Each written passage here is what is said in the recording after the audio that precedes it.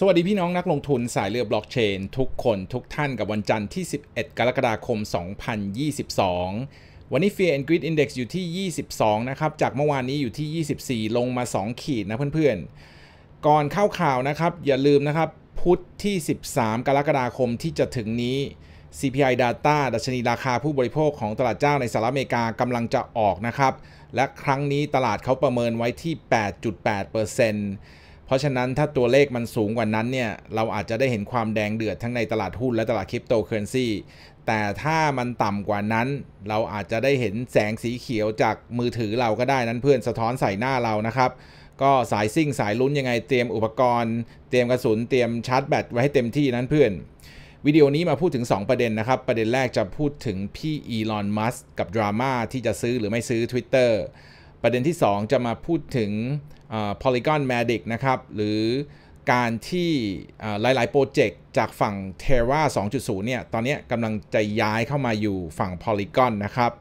มาพูดถึงพี่อีลอน มัสนะครับ ใครที่ตามดราม่าว่า พี่อีลอนจะซื้อหรือไม่ซื้อ Twitter เนี่ยวันนี้คงหามากกับทวีตที่แกออกมาทวีตเมื่อเช้านี้นะครับท้าความนิดหนึ่งสำหรับคนที่ไม่ได้ตามเลยตอนนี้นะฮะพี่อีลอนมัสเนี่ยจากเดิมทีเคยบอกว่าจะซื้อ Twitter ล่าสุดมาลังเลนะแกอ้างว่าไอตัวเลขของบอทหรือบัญชีปลอมที่ Twitter เขาแจ้งมาเนี่ยมันไม่ตรงปกเท่าไหร่นะครับก็วันนี้นะครับเราได้เห็นทวีตที่ หลายคนได้เห็นชั้นเชิงของนักธุรกิจที่รวยที่สุดในโลกนะครับ แกทวีตออกมานี่นะเพื่อนๆแกบอกว่า uh, they said I couldn't buy Twitter นะครับเขาบอกว่าผมอะซื้อ Twitter ไม่ได้ then they wouldn't disclose bot information นะครับ แล้วเขาก็ไม่ยอมมาให้ข้อมูลว่าบัญชีปลอมหรือบอทเนี่ยมันมีเท่าไหร่อะไรยังไงนะครับ uh, now they want to force me to buy Twitter in court แล้วตอนนี้จะมา เหมือนกับบีบผมให้ซื้อ Twitter ในชั้นศาลก็พูดง่ายๆตอนนี้ Twitter เขามีข่าวมาว่าจะฟ้องอีลอนมัสนะครับ แล้วถ้าแพ้คดีก็อาจจะต้องซื้อ Twitter นั้นเพื่อน now they have to disclose bot info in court นะครับ ตอนนี้คุณก็จะต้องมาเปิดโปงหรือเปิดเผยข้อมูลของบอทหรือบัญชีปลอมจริง ๆ ในชั้นศาล เพราะอะไร เพราะแน่นอนถ้าเกิดไปขึ้นลงขึ้นศาลเนี่ย ทนายความของพี่อีลอน มัสก็จะต้องมาบีบฝั่ง Twitter ว่าสรุป นะข้อมูลของบอทหรือบัญชีปลอมเนี่ยมันอยู่กี่เปอร์เซ็นต์นะมันมีอยู่จริงเท็จเท่าไหร่อะไรยังไง เพราะแน่นอนอย่างที่เราพูดกันเมื่อวานนี้นะครับ บัญชีจริงเนี่ยสำคัญมาก มันเกี่ยวกับรายได้การโฆษณา Twitter Blue ต่างๆเนี่ยมันขึ้นอยู่กับบัญชีจริง ๆ ว่ามีอยู่ Active กี่คนนะครับ ก็เรื่องนี้เนี่ยเขาจะต้องไปพิสูจหรือจะต้องไปแสดงให้ศาลเห็นหรือว่าทางฝั่งลูกขุนเห็นว่าสรุปตัวเลขจริงมันเท่าไหร่อะไรยังไงนั้นเพื่อน ตรงนี้มีความสำคัญต่อวงการคริปโตเคอเรนซีของเราพอสมควรนะครับ เพราะว่าอย่าลืมว่าอย่างฝั่งพี่ลอนมัสเนี่ยไม่ว่าจะเป็น Starlink Boring Company SpaceX Tesla และต่างๆ ที่แกลงไปจับเนี่ยมันมีส่วนเกี่ยวข้องกับทั้ง Bitcoin และแม้กระทั่ง Dogecoin ทั้งนั้นเลยนั้นเพื่อน Twitter เองก็ค่อนข้างจะ Active ในในเรื่องของ Bitcoin นะครับเขามี Bitcoin ทิปจาด้วยนะครับ แน่นอนนะฮะ ตรงนี้เนี่ยถ้าเกิดพี่อีลอนแก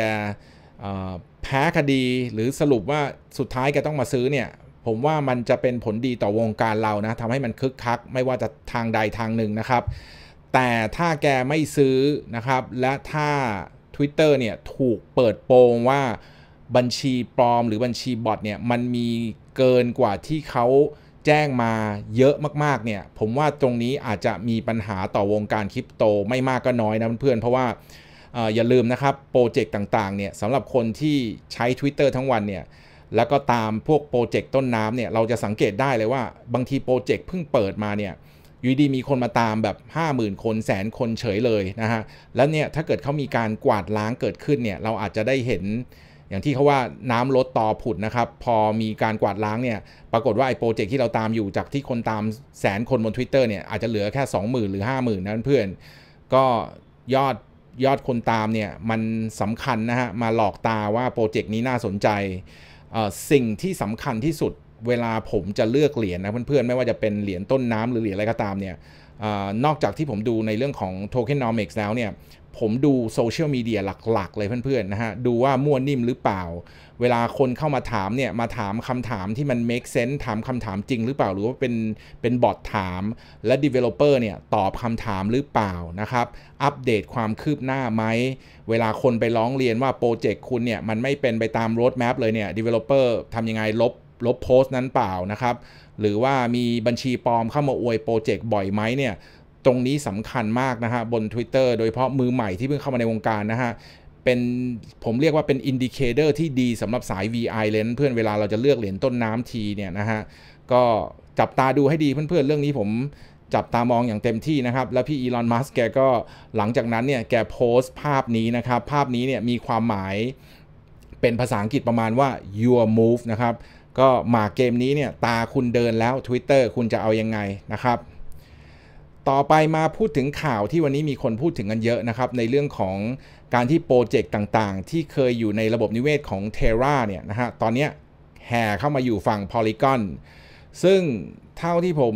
ศึกษาข่าวนี้ดูนะเพื่อนๆก็ยังยังจะมีอีกหลายโปรเจกต์นะครับ ที่เขาปักหลักอยู่ที่เทรา2.0 นะครับ ไม่ใช่ว่าทุกโปรเจกต์แห่กันมาหมด แต่ตอนนี้เนี่ยก็ต้องยอมรับว่ามีหลายต่อหลายโปรเจกต์เลยคือ คงอาจจะเบื่อดราม่าของโอป้าโดคอนนะครับ ตอนนี้ก็ย้ายมาอยู่ฝั่ง Polygon มีรายงานข่าวจาก Cointelegraph นะครับ ว่ามีกว่า 48 โปรเจกต์จาก Terra ecosystem เนี่ย เตรียมที่จะโยกย้าย หรือ migrate เข้ามาอยู่ในระบบนิเวศของ Polygon นะครับ โดยทาง CEO ของ Polygon นะฮะ คุณ Ryan Wyatt เนี่ย แก ออกมาทวีตกล่าวว่าแกภูมิใจมากเลยนะ แกภูมิใจแกยินดีมากเลยที่ network ของแกเนี่ยมีประสิทธิภาพที่จะพร้อมรับสำหรับการโยกย้ายหรือโยกย้ายหรือการ onboard โปรเจกต์ต่างๆ ที่เคยอยู่ในฝั่ง Terra ecosystem เนี่ยเข้ามาใน ecosystem ของแกโปรเจกต์สำคัญสำคัญที่ย้ายเข้ามานะเพื่อนๆ ไม่ว่าจะเป็น Lunaverse นะครับ Metaverse Project ที่มีคนพูดถึงกันเยอะมากๆ รวมไปถึง One Planet NFT Marketplace ก็มานะครับ Derby Star Play to Earn Game ก็มา แล้วก็ยังมีพวก Hellcats Gravity DAO Cypher Wars The Allegiance และอีกเพียบเลยนะเพื่อนก็ใจหายนะครับ เพราะว่าไม่นานนี้มันยังเหมือนกับอยู่ในบ้านของเทรานะฮะ ตอนนี้ก็มาบ้านของ Polygon นะฮะ หรือมาอยู่ในระบบนิเวศของ Polygon กันเพียบเลยนั้นเพื่อน แล้วก็มีข่าวลือว่ามัน น่าจะมีตามมาอีกถึงระดับหนึ่งเลยนะครับ เพราะว่าดราม่าของโอป้าโดเนี่ยอย่างที่ผมเรียนนะฮะถึงผมจะไม่เอาข่าวมาอ่าน แต่มันก็เกิดขึ้นทุกวันนั้นเพื่อนทาง One Planet นะครับเขาก็ลงไว้ในเว็บไซต์ของเขาว่า ตอนนี้เขากำลังอยู่ในช่วงโยกย้ายนะ จะอัปเดตข่าวสารให้กับชุมชนเรื่อยๆ หลายคนน่าจะตามในเรื่องของ One Planet เยอะนะครับ ก็เข้าไปตามได้ในทาง Discord และ Twitter นั้นเพื่อน ก็ต้องยอมรับเลยนะครับว่าต้องแต่ผมเข้ามาในวงการคริปโตเนี่ยนี่เป็นครั้งแรกที่เห็นระบบนิเวศแบบระเบิดนะเพื่อนๆ แล้วได้เห็นแบบเนี่ยเหมือนกับเหมือนกับสึนามิที่แบบมันพัดพาแบบพวกมินเนอรัลพวกสิ่งต่างๆ แบคทีเรียต่างๆเนี่ยเข้ามาอยู่กับอีกฝั่งหนึ่งเนี่ยนะฮะแล้วเราก็หวังว่าไอการโยกย้ายครั้งนี้เราจะได้เห็นต้นไม้ที่มันเคยเติบโตอยู่ที่หนึ่งเนี่ยมันจะมาเติบโตกับ อีกที่หนึ่งหรือเปล่านะเพื่อนๆตรงนี้ก็ถ้ามองในแง่ดีนะฮะผมมองว่ามันทำให้เรามีภูมิต้านทานสูง เพราะว่าตอนนี้ในโลกของเราเนี่ยมีคนที่ใช้คริปโตเคอเรนซีอยู่หรือ adoption เนี่ยมันอยู่ที่ประมาณ 3-5%อย่างที่พี่ตี CC เคยพูดไว้นะฮะ และในอนาคตถ้ามันมีปริมาณมากขึ้นเนี่ยเราจะเป็นกลุ่มแรก ๆ เลยที่ถ้าเกิดมันมีระบบนิเวศแตกขึ้นมาอีกทีเนี่ยนะเราจะเห็นเเรียกว่าอ่านเกมออกนะเพื่อนๆว่า มันจะเกิดอะไรขึ้นโปรโตคอลของมันจะเป็นลักษณะไหน 1 2 3 4 นะครับ เพื่อนๆคิดยังไงกับเรื่องนี้ คอมเมนต์กันเข้ามานะครับ แล้วก็ขอบคุณเพื่อนสมาชิกทุกท่านที่เข้าไปโหวตใน YouTube ชุมชนนั้นเพื่อนว่า Polygon Magic เนี่ย คุณ bullish หรือ bearish นะครับ ก็เข้าใจได้นะฮะ ตอนนี้สภาพตลาดแบบนี้เนี่ย มันอาจจะแน่นอนต้องตาม Bitcoin นะเพื่อนๆ แต่ว่าความรู้สึกส่วนตัวแล้วกันนะฮะว่า ระยะยาวเนี่ยคุณคุณ bullish ไหมกับ Polygon นะครับหรือคุณ bearish เพราะว่านี่เป็นหนึ่งในเหรียญที่ผมก็มีไว้มาสักพักหนึ่งแล้วนั้นเพื่อนแล้วก็กะว่าจะถือระยะยาวนะครับ ถึงแม้ว่าตอนนี้กำไรหดหายไปเยอะนั้นเพื่อน คิดยังไงกับข่าววันนี้คอมเมนต์กันเข้ามานะครับ วันนี้ก็ประมาณนี้ เช่นเคยนั้นเพื่อนกาดอย่าตกทั้งในเรื่องสุขภาพและในเรื่องการลงทุน ขอให้เพื่อนๆทุกคนโชคดี ขอให้ทุกคนปลอดภัย ดูต่อไปครับผม